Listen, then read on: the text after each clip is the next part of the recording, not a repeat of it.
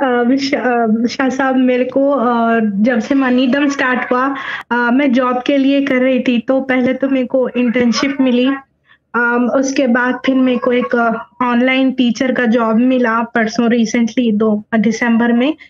फिर उसके बाद और एक ऑफ़र आया मेरे को, जॉब ऑफ़र, जो उससे बेटर था। और अब रिसेंटली एक दिन पहले मेरे को और एक जॉब ऑफ़र आया जिसकी सैलरी उन लोग फाइव थाउज़ेंड देते बोले और वो मेरी फ़ील्ड का ये डेटा साइंस एसोसिएट तो मैं अब उसको थर्सडे से ज्वाइन कर रही हूँ शाह साहब।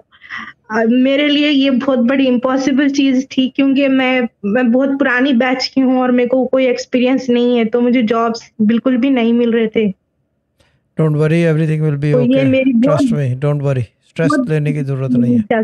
ठीक है एवरीथिंग विल बी ओके